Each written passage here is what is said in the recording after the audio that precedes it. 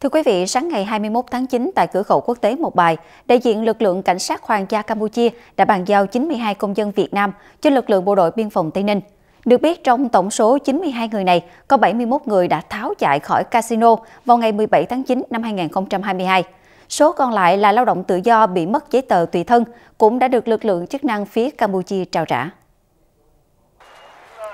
Ngay sau khi tiếp nhận, các chiến sĩ thuộc hai lực lượng biên phòng và công an nhanh chóng tổ chức lấy thông tin, xác minh nhân thân lai lịch từng trường hợp trước khi hoàn tất hồ sơ để các công dân được trở về địa phương nơi cư trú. Trong số 92 công dân tiếp nhận lần này, có 73 nam, 19 nữ, đăng ký hộ khẩu thường trú tại 34 tỉnh thành trong nước. Trong đó, hầu hết trong số họ sang Campuchia làm việc trong các casino dưới hình thức cờ bạc trá hình, lừa đảo người chơi nạp tiền vào các tài khoản ảo do công ty cờ bạc cung cấp. Không ít người trong số này từng bị các casino bóc lột sức lao động, dùng nhục hình khi không kiếm đủ chỉ tiêu thu nhập, đồng thời gây áp lực để gia đình gửi tiền qua chuột về. Được biết, ngoài số 92 công dân do lực lượng chức năng Campuchia trao trả vào sáng ngày 21 tháng 9, thì trong những ngày gần đây, lực lượng bộ đội biên phòng và công an Tây Ninh đã tiếp nhận và giải quyết cho nhiều trường hợp tương tự được về nước qua cửa khẩu quốc tế Mộc Bài.